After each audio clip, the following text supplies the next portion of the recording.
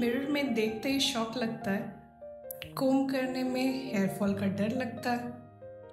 थोड़ा hair fall तो जायज़ है, लेकिन इतना भी नहीं कि बचे हुए बालों को फ्रेम करवाना पड़ जाए।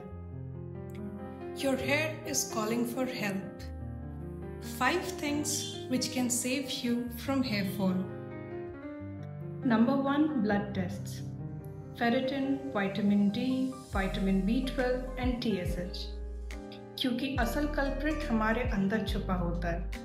नंबर टू पेप्टाइड सिरम्स लगाओ। नंबर थ्री बैलेंस डाइट लो, क्योंकि स्कैल्प को भी न्यूट्रिशन चाहिए।